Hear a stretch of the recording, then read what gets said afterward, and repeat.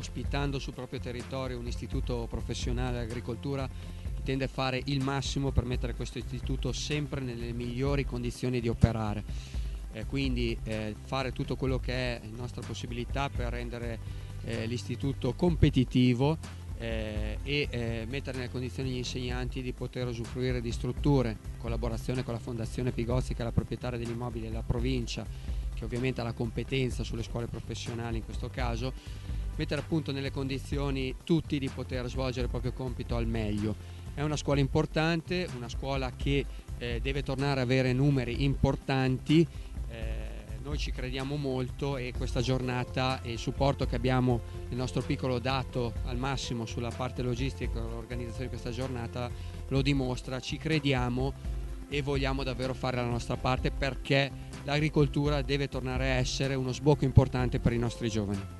Questa iniziativa è un'iniziativa eh, molto importante che abbiamo voluto fortemente perché eh, pensiamo che sia fondamentale avvicinare ehm, i, i, giovani imprenditori, quindi le imprese, eh, al mondo della formazione, a quelli che saranno i giovani che dovranno collaborare con le nostre aziende. Ehm, è fondamentale per noi eh, avere eh, collaboratori specializzati, preparati eh, formati proprio eh, a, a dare più competitività alle nostre imprese. Oggi è stato un successo, abbiamo parlato del futuro della, dell'agricoltura che comunque sono i giovani eh, sotto tutti i loro aspetti. Sono, abbiamo parlato di argomenti che riguardano i giovani imprenditori agricoli ma anche i giovani che vogliono rimanere in agricoltura. L'agricoltura offre parecchie possibilità di impiego, abbiamo parlato di conto terzismo che necessita di manodopera specializzata, la scuola di indirizzo agrario fornisce preparazione ai giovani studenti in campo agrario e quindi sarebbero già esperti e pronti per eh, il conto terzismo e la meccanizzazione. Oggi abbiamo raggiunto un pubblico giovane di 400 persone, le stiamo oltrepassando e in concomitanza a questo convegno c'è anche un raduno di trattori organizzato dalla quinta dell'Istituto Agrario di Gazzoldo degli Ippoliti e abbiamo raggiunto più di 100 trattori nel raduno. Mm, credo che l'obiettivo sia stato raggiunto. Nel pomeriggio vedremo l'applicazione di alcune tecniche su trattori di nuova concezione, come la prova di consumo e la prova di potenza alla presa di forza, su macchine New Holland Abbiamo un'esposizione di macchine agricole per vedere l'innovazione e il miglioramento della tecnologia in campo meccanico e soprattutto ehm, prevederemo anche un confronto tra la meccanizzazione di un tempo e la meccanizzazione del futuro. Come mai Enama ha deciso di partecipare a questa giornata di formazione dedicata ai giovani in agricoltura? Tra le attività del, istituzionali dell'ente c'è sicuramente la divulgazione di quelle che sono oh, eh, le tematiche relative alla sicurezza delle macchine agricole, all'uso corretto delle macchine agricole, più le nuove tecnologie e l'impiego più corretto che si può fare di queste macchine. Una, normalmente vengono eh, sfruttati quelli sono i momenti di aggregazione del settore, quali fieri, convegni, manifestazioni e qui eh, ci è sembrato opportuno ma doveroso anche perché eh, abbiamo un attuale momento migliore nel eh,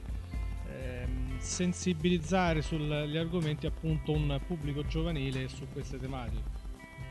quanto questi giovani sono preparati eh, e sono sensibili a queste due tematiche, cioè sicurezza e corretto utilizzo delle macchine agricole?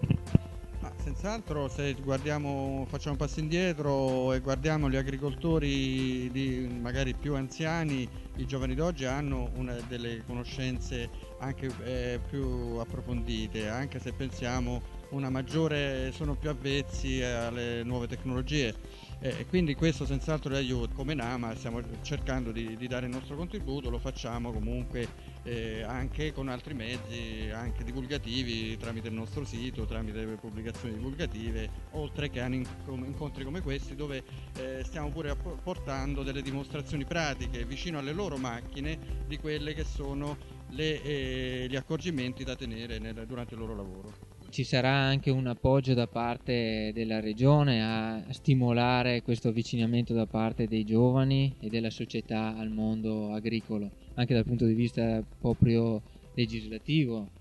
Assolutamente sì, io ho anche la delega ai consumatori e dall'alto dalla promozione dell'agricoltura proprio come filiera importante